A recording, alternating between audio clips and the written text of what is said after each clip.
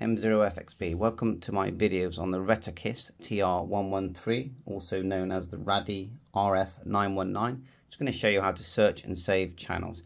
First thing is turn the device on and then choosing the, the mode and I've gone to FM here just by pressing this button here, radio. As you go through, it's trying to load that one now.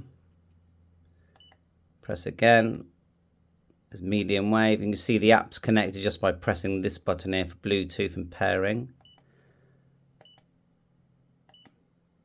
There you are, FM, this is my favourite. So now, all you do is press and hold this button that says scan ATS. Just press and hold it and watch what happens.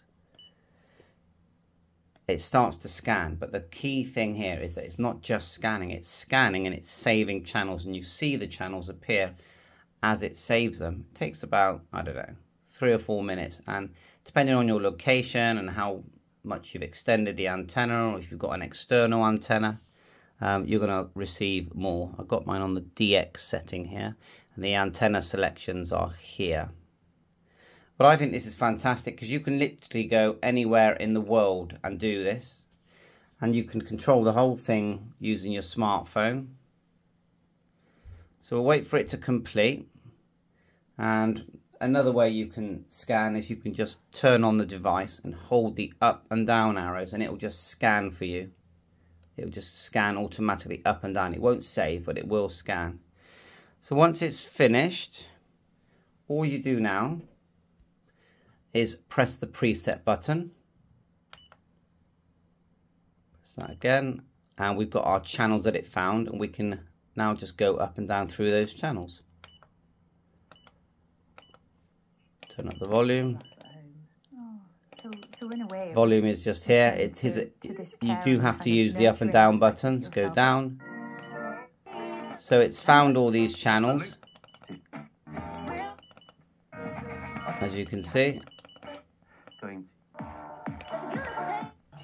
France fight China for a place in the quarterfinals. Now, some good contextualising there, Alison. The volleyball quarterfinal between France and China. Display was showing the RSSI. Is, were you on the toilet while recording this? Time and RSSI. Actually, in a shower room. Okay. That's because you're not allowed to do it in the actual venue. So I've just flicked to shortwave because I'm just curious if it would do the same thing in shortwave. So let's just, just by pressing this, let's just hold scan again. And it, I think it actually is. See, that's cool, isn't it? If it finds shortwave bands and saves them.